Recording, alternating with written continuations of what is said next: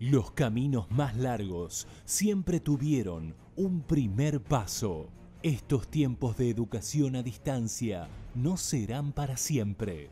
Estamos esperando ansiosos tu regreso para seguir transitando el camino de esta apasionante vida militar. No te lo pierdas este sábado a las 7 de la mañana por la televisión pública.